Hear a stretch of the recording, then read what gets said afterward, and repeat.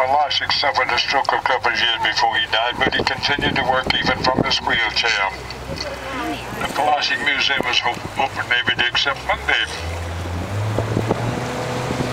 Whoa. What do you say, Chris Hughes?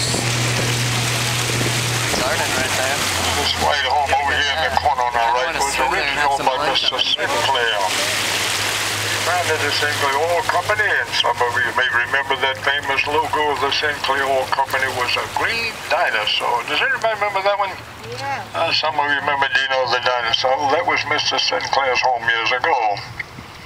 They have a boot over there by that swimming pool. You can see the Buddha when it gets elevated.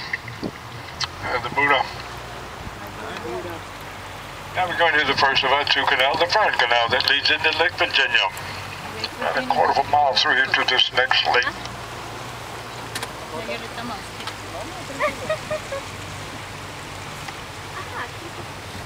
Son canales bien delgaditos que no pasa de un agua a otro.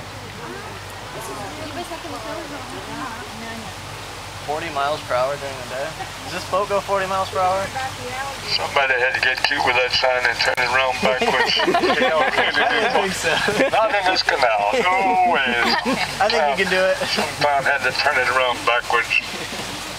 Broadleaf plant's called the elephant ear. See, that is certainly well named elephant ear. Pines Hill Young on the left would be typical of the trees cut by the logging company. Doesn't feel like we're going. Now this bridge tells you why we don't have any covers on our boats. You'll also see a pipe under this bridge.